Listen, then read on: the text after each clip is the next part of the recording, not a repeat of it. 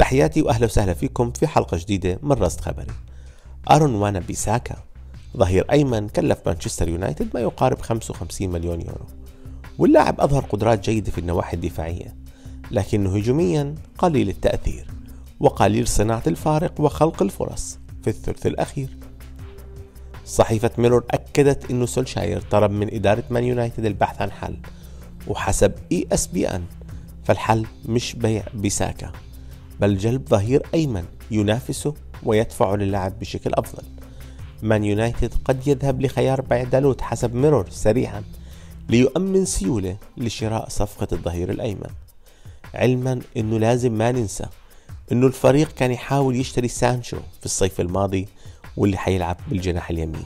وهون حيلزمك خلف هذا الجناح المبدع ظهير أيمن دفاع الطابع مثل بيساكا بيعطي توازن على الجهة.